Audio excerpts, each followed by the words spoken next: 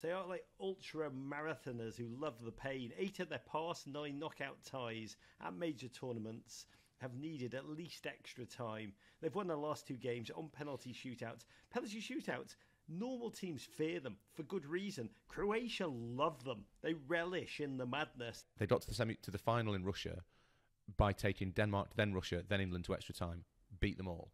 They've taken Japan to extra time, they've taken Brazil to extra time. The one thing you might say is that only one country's ever won more penalty shootouts in the World Cup than Croatia, and that country is Argentina.